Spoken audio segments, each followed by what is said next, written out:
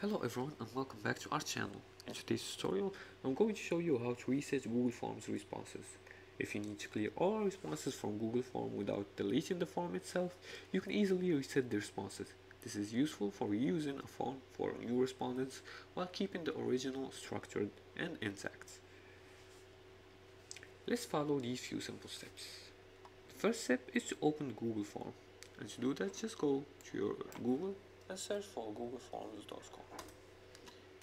As you can see here, choose the website that says workspace.google.com slash product slash forms and make sure you log in using your Google account's credentials.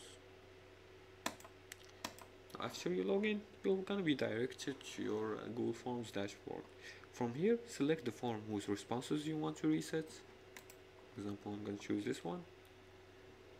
Now go to the responses tab by clicking on responses. As you can see I didn't uh, use this form so it has zero responses but your response will have responses. But your form will have responses. After that click on the responses tab at the top of the form and here you see a summary of our responses collected. Third step is to delete all responses and you can do that by clicking on the three dots menu in the response tab. And choose uh, uh, select delete all responses to permanently erase all collected data. You can click this section right here. Now if you have responses this option will be available. The fourth step is to reset the linked Google Sheets.